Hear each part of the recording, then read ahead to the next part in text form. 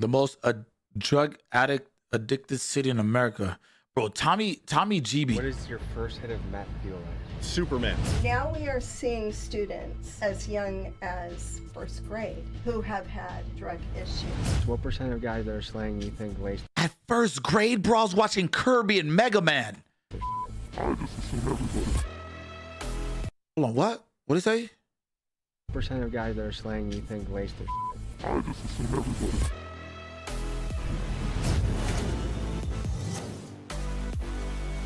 In Nebraska? What the fuck going on in Nebraska?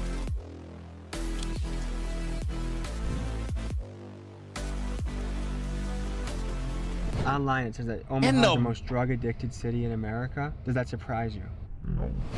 The United States of America Neb- I, bro, Nebraska? is facing a massive drug crisis. In 2021, I don't think it's just the U.S., bro. I think it's the world, to be honest with you. And then people are like, oh, well, the war on drugs, most pointless fucking war ever. over 106,000 people died from drug overdoses. This is up 14% from 2020. The main culprit in this story is fentanyl. Next to the That shit's crazy in Florida too, chat. Y'all gotta be careful, bro. fentanyl crisis, I mean, just don't do drugs, to be honest with you. wreaking havoc in communities Even y'all motherfuckers that smoke, y'all be, y'all gotta be careful. They be lacing everything with that across shit. the country. Overdoses, drug seizures, and concerns continue to grow from coast to coast. The victim can be seen buying the fentanyl and then walking over to the front door of the gas station before collapsing. a snapshot of America's fentanyl crisis. An average of one person every Why them boys bent over like that? Like, is that what fentanyl make you do?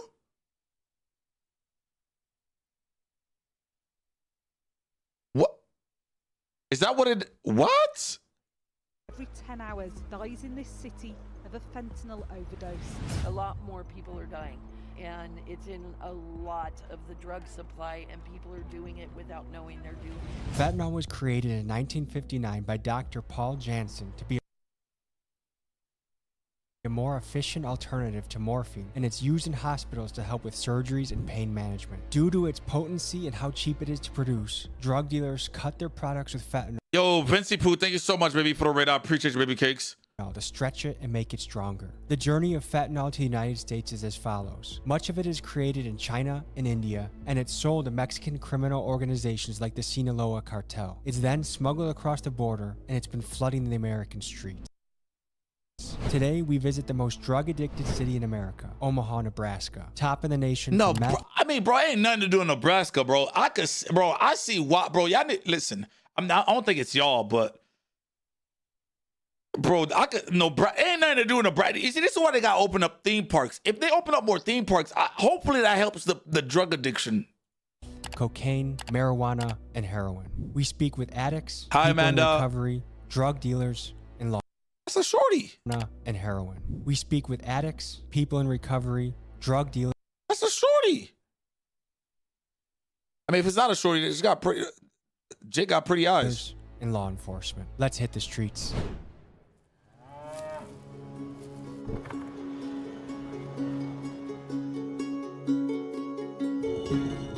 Now imagine being in a theme park and high shit gonna go through the. Bro, I don't know what that feels like, bro. So I'm not gonna do that. First, we stop at University of Nebraska. I'm straight, bro. I'm straight. Imagine, imagine surviving 10 years and then like in the military and then you just die from fentanyl just to bro. I'll be pissed as fuck. Omaha. I'll be mad. I'll Just- be mad as fuck dead. Speak with Coalition RX, a nonprofit dedicated to reducing drug use. Ladies and gentlemen, Carrie, It's nice to meet you. nice to meet you too. Big pharma on the streets, and we're seeing a lot of drugs, mainly fentanyl. And the bad thing about Like, why is people even you bro? Can it like the can it like chat? Isn't like the smallest piece of fentanyl can like fuck you up? Am I tripping? I'm not tripping, right? That's like is it it's like the smallest amount can can like completely fuck you up. fentanyl is just little grams to kill you. If you look at a drug dealer like a business operation, what's in it for them to lace things with fentanyl? It's cheap, and it gives you a good kick of high. It's one of Bro, why she said it like that? She's like it's like she promoting that. I know she's not, it's but like cheap, and it gives you a good kick of high. it's one of the most dangerous. I'm not gonna lie, chat. I feel like the more people talk about shit, the more it happens. You know what I'm saying? Like I know, I know it's awareness, but like when you say it like that, it gives you one hell of. You know what I'm saying? Somebody's gonna watch that, be like, oh shit, I'm trying. You know, dangerous drug. I feel like they got to be able to like, like, like, say it a way to where it's not appealing, bro. we've ever seen. How is fentanyl getting into this country? Does anyone know the source, where it comes from, how it gets here? The drugs are being manufactured in China and they're being sold to the group. What's up, Peace Saint, baby? Long time, baby. Hope you blessed. Trafficking it across the border. Federal agents found 300,000 fentanyl pills and 11 pounds of fentanyl powder. Authorities say the SUV has crossed the U.S. Mexico border multiple times. Now we are seeing students as young Oh, okay, as Punky, I see that. first grade No. who have had drug issues. Oh, big pharma, in my mind, they are the people that needed to be held accountable. They You better chill out, shorty. You, you, hey, don't talk about, hey, yo, big pharma don't play no games, bruh. Y'all notice? Y'all notice? I ain't saying. Big pharma don't play no games. You better watch your motherfucking mouth. They'll shut that whole shit down. I've been getting off scot free, if you ask me. You better chill out, bruh. Passed away when he was 18 from an accidental oxycodone overdose right here on this campus, actually. He had just finished his freshman year Aw. on a full academic scholarship here, and from what I can tell, he was experimenting with drugs. I believe.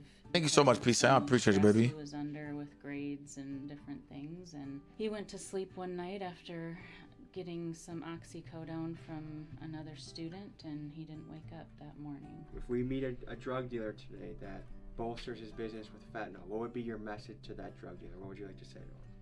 Well, I want them to think about their own child or their niece or nephew or the kid. Bro, it's such a fucked up, bro. It's like, bro, it's such a fucked up type of situation that a lot of people are in. I feel like there's no such thing as bad choices. It's either good choices or shit choices, chat. I'm gonna be 100% with you, bro. You know what I'm saying? There's no bad, it's either good or shit choices. There's no such thing as a bad choice. next door would would they want that kid's life to end because of what they're doing to make a buck? They're killing people's kids. Addiction is giving up everything. Like that one ass. thing, But recovery is giving up one thing for everything. How many people in this room has either had a family member or know of someone that has overdosed in their circle? Yeah. Since there's fentanyl and all Lost my thing, best friend to that dumb shit. Not fentanyl, naloxone. Though. So what you do is you put it into your nasal cavity. I don't have the test. I and put then this up their nose. You put this part, and That then part. you just push down, and it will spray. Corporal Crane was equipped with the nasal spray Narcan, a prescription medicine that rapidly reverses the effects of an overdose. Oh, I remember. Wait, Take care. wait. How, can you just, can you buy those, chat? Corporal Crane was equipped with the nasal spray Narcan, a prescription. Narc, can you just buy those? Like keep them on deck? Narcan.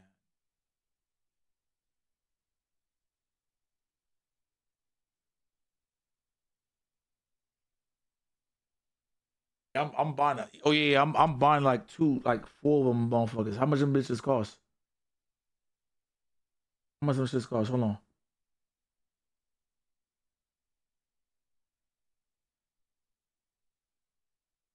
Can I just get the goddamn order? How much that shit cost? You gotta sign in. I'm not gonna lie. I mean, I, you know, just keep a couple. Rapidly reverses the effects of an overdose. thanks, you guys. Take care. Next, we head to speak to a former drug dealer that can give us insights on how narcotics are moving through this area. So we're heading to a trap house in Omaha. Talk to a dealer. Is there really trap houses in Omaha though? Cause like it's so like wide open and open fields, like you could easily see the trap house. Inside their head. Tell me about the drugs. It's like a trap, trap. It's like a trap field. I mean, when you hit us up saying that there's an epidemic level, I honestly thought to myself, I was like, well, shit, the drugs have always really been here. One of the big things right now is meth, a lot of overdoses. Does that make you nervous being in the game? This made me a little nervous, not gonna lie, because nobody really knows, understands what they're doing nowadays, you know what I mean? What do you view as the impact of fentanyl coming into the game? It's honestly a travesty because it just kills people. So what percent of guys that are slaying you think lace their shit? I just assume everybody, because at the end of the day, when they get it, they themselves sometimes don't know if it's been stepped on or cut or anything, you know what I mean? Tell me about the, the journey of how drugs get to America And how Omaha is a central point of that. The way I understand it is, is just because we're on I-80, Interstate 80, everything gotta come and go through here at some point in time. That's why, like Nebraska, they call it the gauntlet, because we make so many drug busts on the interstate. Have you ever felt bad for a customer? At the end of the day, people are their own responsibility to, to handle their shit. You know what I'm saying? You gotta do the drugs, not let the drugs do you, whatever it is you're doing. What made you decide to get into the game? I did it out of necessity, like out of survival, because I, I, I lost my job. A lot of different things were going on. I got in trouble with the law, and I was just trying to figure myself out. And what kind of things went down in this house that we're, we're at? This place, man, everything used to go down here. Literally everything. Meth, coke, This is like a nice ass neighborhood. crack, weed, everything. Like, I got out in 2019, but I went away before it ever even got raided. What was your childhood like? It was pretty regular. Do your parents know what you've been up to? Do they know everything? No, but my mom, I love my mom, so she, she has an idea. Does it surprise you to hear that Omaha is the most drug addicted city in the country? It kind of does. Big Pharma, what role do you think they play in this whole game?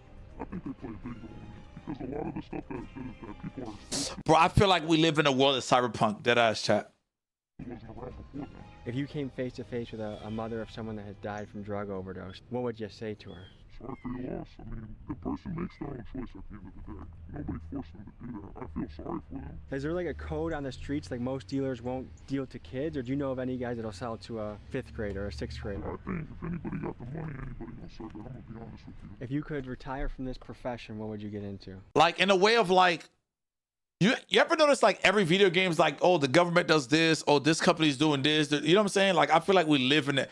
We live in a world, bro. Like if you look at like LA Skid Row Chat, that shit is disgusting, bro. You know what I'm saying? Like I feel like, I feel like it's just, bro. We live in a fucked up world, bro. Like it's so fucked. I not gonna lie, I can see the dealer's point at the end of the day. You make your own choice. Yeah, you do. You're right. You're right. You're right. You're right. You're right. You're right. You're right. Except for the except for the motherfuckers that get that that get the shit that's lace. You know what I'm saying? Like like lace is like they don't know. They'll think they're getting like regular marijuana and then that's just laced with fentanyl. Like that would you know? Like it's all it's what I'm saying, it's all money, bro. Like people don't give a fuck about like who lose their life type shit. Like it's just it's just all money. The reason they lace it, Tagash, is because the higher your customers get, the more they'll come back and the more they'll spread like, yo, this motherfucker got some insane shit that had me floating. Like that's what they do. That's why they lace it. But sometimes they fuck up and fuck it up, and then that's when somebody dies. But you know what's crazy? When somebody dies, they make more money. The dealer makes more money because they're like, oh shit, oh oh, um, uh, AB, what's the name? Overdose on his shit. Oh yeah, we gotta go to. That means this shit is crazy. That it's it's so sick.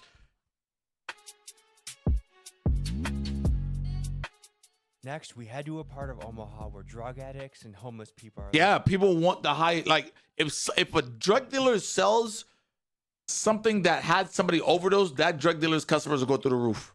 Being intense on the street to get their story and hear what their life is like. Omaha is known as the most drug addicted city in America. It is. I'm with the outreach program. I'm a psychologist. Fentanyl is the worst thing in the world. They used it when they put you under to do surgery. They quit using it. Well, then it disappeared off the docks. It went to Mexico. It comes back to the United States. They stomp on it. What stomping means, they mix it with other things. Young cats like you get it. What can you tell us about life here? difficult, hot. Resources are slim. Do you survive out here all day? Yeah, I'm here 24 7. What gets someone to a point that they're willing to be outside a tent and not It's the other way around. Uh, Yeah, like eh, and when when I was in Seattle, bro, like I knew motherfuckers I was doing like I was pushing all types of shit, and I was like, if somebody something happened, like them motherfuckers, they, bro, you could you can tell them boys they, eh, they buying bottles. You know what I'm saying? They bring, every- bro, you know, because customers going through the roof. It's just like it's fucked, bro. It's better to be out here than it is to be in an abusive situation. And guess what? It could happen to you two guys too. What's the drug that's running through Omaha right now? Meth, crack, there's some cocaine and weed. Uh, Pretty much anything you want to find is pretty much You can find it everywhere. right here. I got out of the situation that I was in and ran out of What funds, the so fuck? I got stuck here until I can get enough funds up to be able to get into a place. People aren't bad. They've had a bad situation. But sometimes the system doesn't allow that. What could the system change or what could be better about the system? Other psychologists, psychiatrists, outreach programs, hospitals where they can take their medication, etc., etc. They can live a normal life. This is kind of the skid row of Omaha, I would say. Hell yeah, just the bottom. I can't get my fucking ID. They fucking with me. They keep talking about they care about the people that's homeless. They don't want you to put your tents up nowhere. Why the fuck we can't put our tents up nowhere and y'all not trying? I think he high right now, to be honest with you. I had suspicions about I think he guy, high right so now. I called the Siena Francis house to see if he worked there. They said he was not a psychiatrist on staff. He was a patient. Today we meet John, a former addict helping other people on the path to recovery outside the Siena Francis house, which is a place leading the charge in helping the homeless, but also one of the highly concentrated areas of drug addicts in the city. It's a sketchy place that plays a central role in this story. The most drug addicted city in America is arguably Omaha, Nebraska. Does that surprise you to hear? That's the first time I've heard that. I know it's uh, bad here, the fentanyl epidemic, the opioid crisis. I know That's just crazy, for, uh, bro. methamphetamine use, I just get sad uh, listening, like listening to shit like that. I'm not gonna lie to you, chap. Uh, counseling agency, Halo Counseling Center. I've been doing that for about the last eight years. Started that in 2015. So we do a lot of work with like the criminal justice system. Most of our referrals come from probations, drug courts, veterans courts, things like that. It's insane. I mean, our business just continues to grow. I started off with just me, myself, and I, and now we're up to eight counselors, five offices, and we still can't keep up. What got you into this? So I got my own history. In 2006, I was out on the streets smoking meth. I was involved in a raid September 11, 2006. God and- damn, 2000. Christ.